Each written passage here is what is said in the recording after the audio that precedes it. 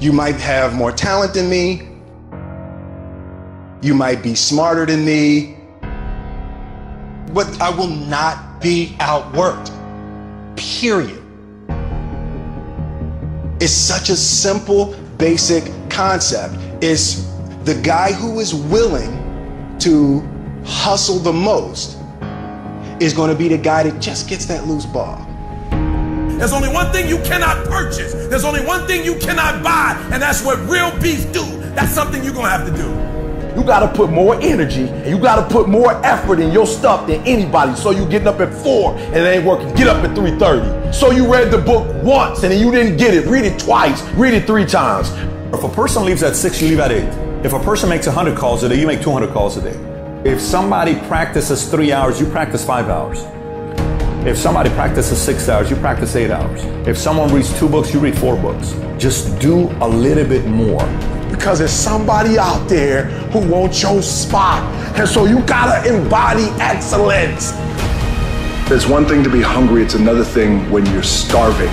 You're starving for greatness and starving for success. You start training, train like it's your life, not a game, like it's your life. Like this the last opportunity, only opportunity. See a guy like me? I knew someone was better than me. There's more talented people than me. Probably more talented than you.